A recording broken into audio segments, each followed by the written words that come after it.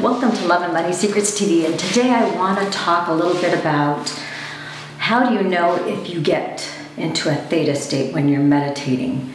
And this is something that just now I had another person reach out to me asking me about that in my video where I discuss you know, how to get over a breakup and the five steps to getting through that process. And when you do the meditation aspect of it, how do you know that you're in theta state? And whether you're doing that process for that purpose or if you're doing, doing any kind of meditation. And what I learned, and I'm just going to explain what my own personal experience was, and I hope that this will resonate with you. If what I'm saying here in this video, if it resonates with you, then congratulations that you're at the right place at the right time with the right people. And I made this video for you.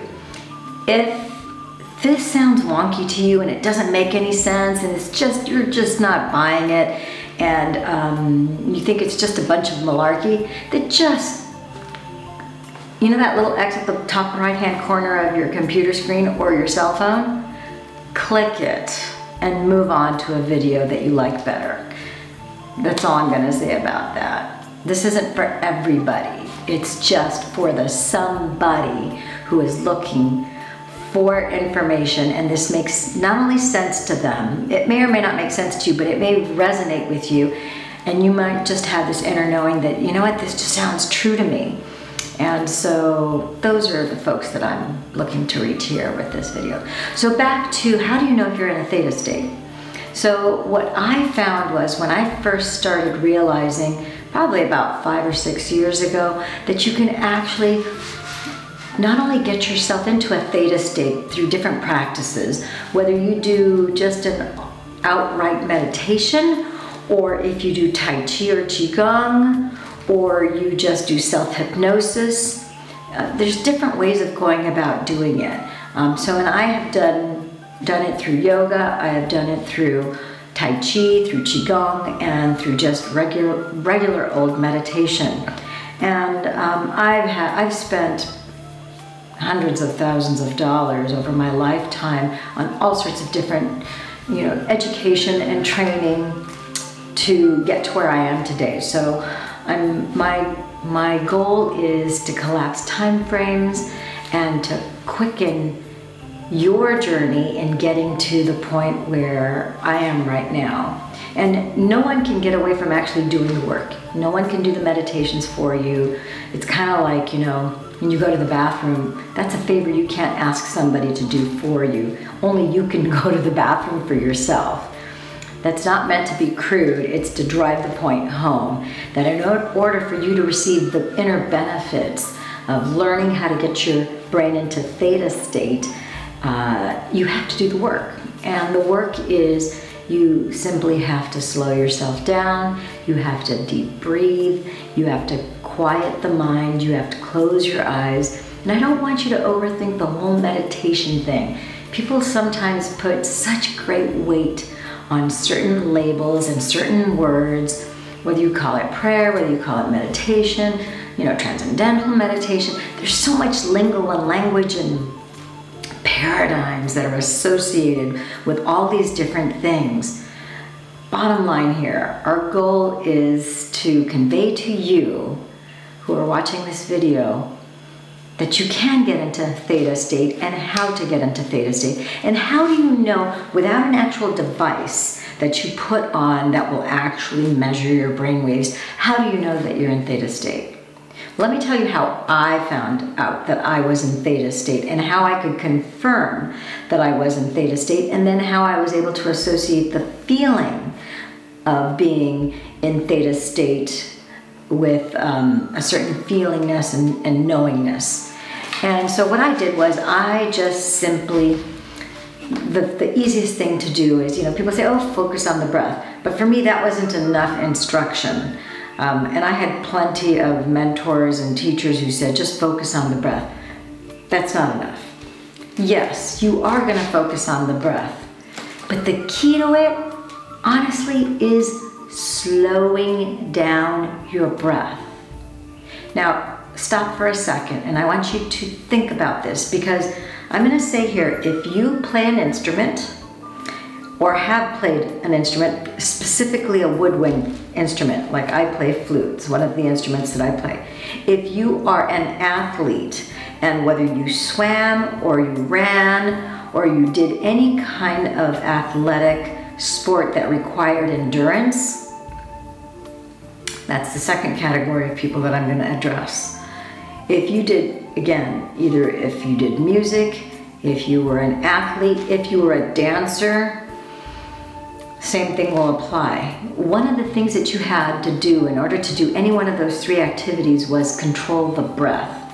If you were, if you just did it at the inception, where you did it just the very beginning stages, you probably never got to the point where you really developed your breath. But if you were any kind of an athlete that did anything at any level that was beyond beginner, and I would say intermediate and above, you know that your breath is really, really important. Whenever you, if you're, whether you're working out or whether you're running or whether you're, if you're a dancer, you actually have to slow down your breath. When you slow down your breath, that increases your endurance.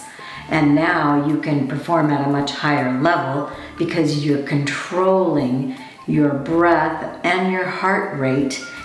You don't know that, but instinctively you're also automatically entraining your brain as you're doing that. That's a feeling that you're going to get by your automatically slowing down the breath. It brings a certain calmness, but it also brings an intense focus so that what you're trying to accomplish, you're able to get to your goal, to the destination point. And that's what we're trying to do here, is we're trying to get you to the destination point that you have the outcome that you want.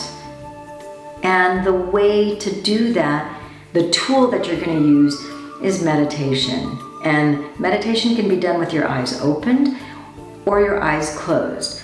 For right now, let's just focus on the closed eyes meditation because if you can do it with your eyes closed, then we can up the ante. And once you've isolated the, the sense of seeing, then when you know what the feeling is like with your eyes closed and the sense of seeing eliminated and you, you're just in darkness, now you're isolating what you're hearing, you're isolating what you're feeling with your senses, what you're tasting, what you're smelling. That's part of all the meditative process is. So as you slow down your breath, and I like to use the number 10 as a whole complete number that's an even number. So you just close your eyes, you count to 10, and you're gonna inhale through your nose and exhale through your nose. And part of the thing is, is you're going to slowly inhale as slowly as you can, and you're going to be bringing your energy from the bottom energy center, which is at the base of your spine or the base of your perineum. And then you're going to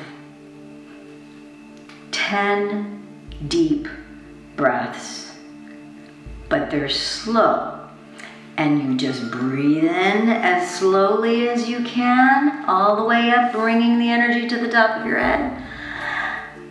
Holding it as long as you comfortably can, and then releasing and then following the energy all the way down.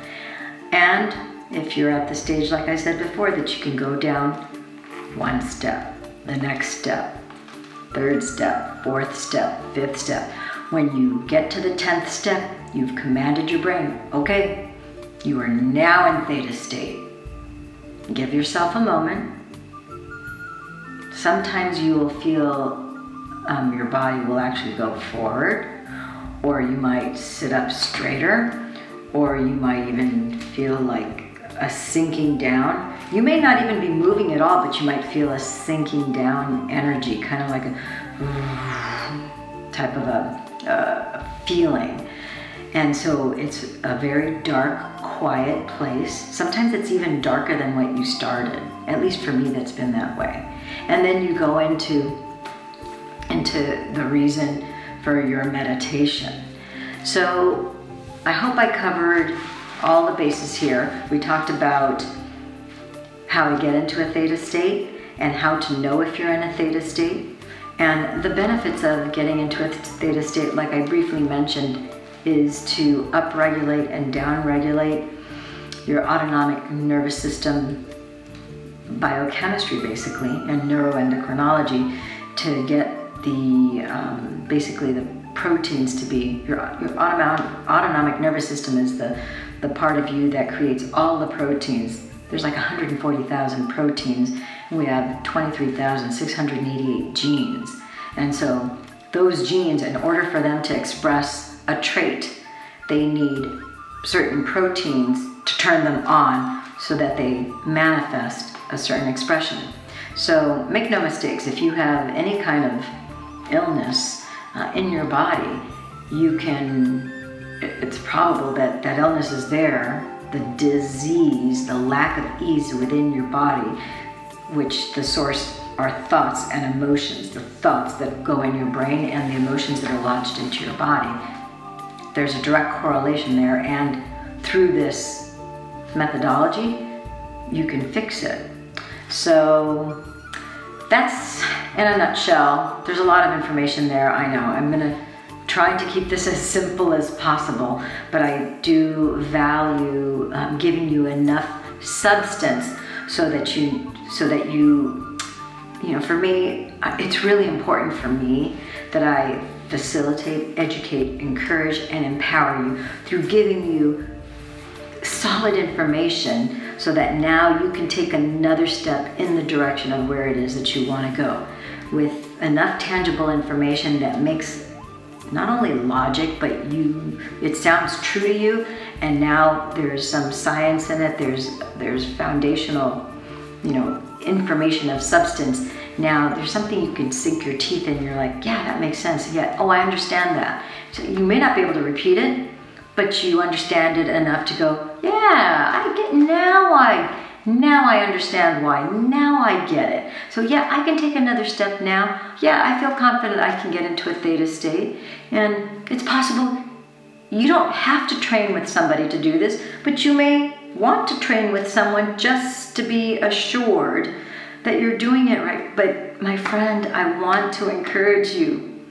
You already know how to do this. You have just forgotten, and you just need to trust yourself, believe, and know that you are hardwired to do this. We all are. There isn't a single human being. There's no one too young or too old that can't do this. There's no one that's too fit or not fit enough who can't do this. There's no one, I love what Dr. Joe Dispenza says, there's no one that's so special that you are incapable of doing this. There's if you pass the mirror test, that's what's required. You're breathing, you're alive. That's all that's required. So thank you for tuning in, tapping in, turning on to Love and Money Secrets TV.